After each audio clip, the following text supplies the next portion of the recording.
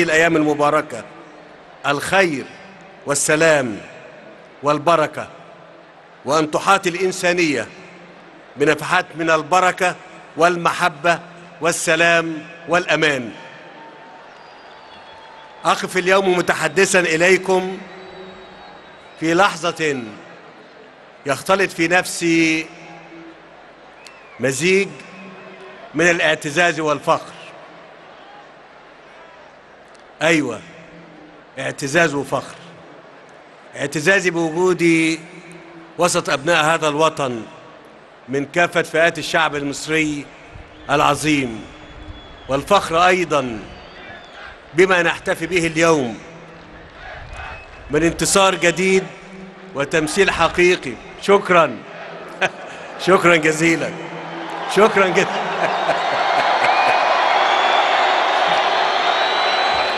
شكرا جزيلا.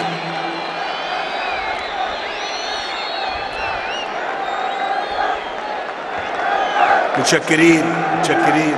وأنا والله بحبكم جدا. والله بحب مصر جدا. وربنا اللي يعلم. ما هو؟ طب اسمعوا. هو ما حدش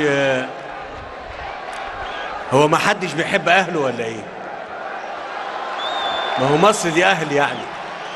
والله صحيح. والفخر بما نحتفي به اليوم من انتصار جديد وتمثيل حقيقي لمعاني الإنسانية والتضامن والتكافل المجتمعي.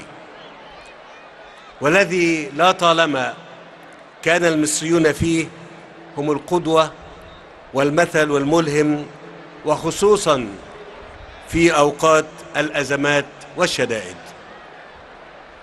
ما نشهده اليوم ما هو إلا تأكيد لإرادة هذا الشعب العظيم وإظهارا لقدرته في تحويل المحن إلى منح. طب وبعدين؟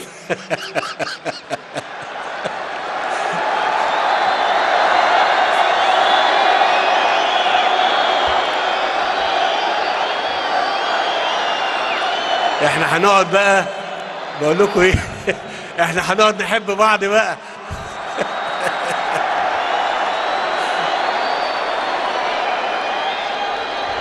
شكرا جزيلا شكرا جزيلا. واظهارا لقدرته في تحويل المحن إلى منح والأزمة إلى نجاح وإنجاز. الحقيقة مشهد إنساني رائع. ظاهره التضامن والتكافل وباطنه الإخلاص والاستعانة بالله سبحانه وتعالى. جزيل الشكر جزيل التقدير لكل من شارك في هذا النجاح من متطوعين ومؤسسات وجهات فاعلة تحت مظلة التحالف الوطني للعمل